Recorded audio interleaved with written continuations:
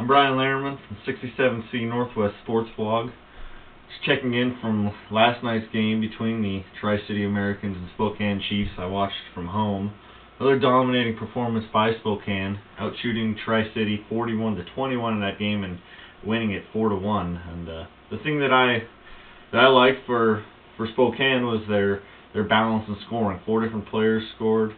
Um, Blake Gall chipped in again. Dominik Uher got this got the scoring started a minute 37 in. That really set the tone on early, I thought. And then Kramer with the put away late in the game. Nice to see him getting on the board. So it was a really good effort all around by Spokane. They're getting scoring from everywhere. Um, for Tri City, obviously they were missing Tyler Schmidt last night. I thought that was a pretty big loss, and it showed in the uh, the defense for Tri City just wasn't as good. wasn't as good getting the puck out of their own zone. So Spokane takes a 2-1 lead on the road.